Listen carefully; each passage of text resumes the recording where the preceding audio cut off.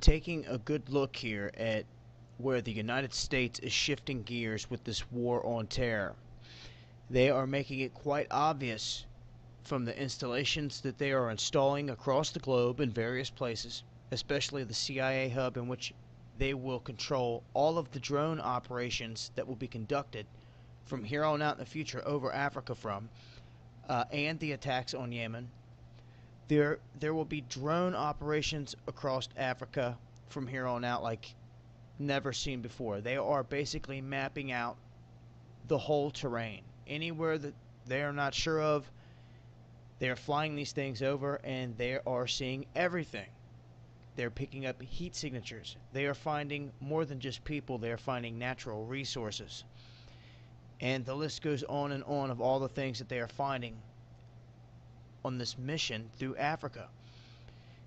Now, Libya has served, as I stated in the last video, as a hub of violence and weapons transfer, uh, human trafficking, so on and so forth, ever since the topple of Muammar Gaddafi. It is very unstable, and the U.S. actually just told all the Americans in Libya to get out. Now, with no one around seeing anything in Libya, anything can take place, and these weapons can come right on in.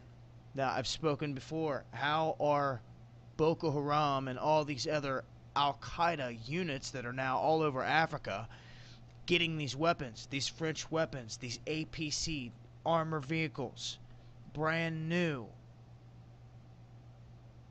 It doesn't take a rocket scientist to figure it out. The elite of this world are playing both sides of this war, and in doing so, they can invade every country. You see? They can go in and get whatever they want out of every country while they're there because they're already there militarily killing anyone in their path. So I would say look for the operations in Africa to pick up from here on out, and this is going to be a strategic point. I think for the United States, you're going to see them start to, to fill into all these regions. And they have just announced recently that they have found where these 200 and some kidnapped girls are. They've stated this, but they don't want to go in and get them. Because they would have to use force and risk killing them. So, how are you going to do it? You don't want to negotiate with terrorists, you don't want to use force. You're just going to leave them sit there and use it as an excuse to send more troops, more troops, more troops.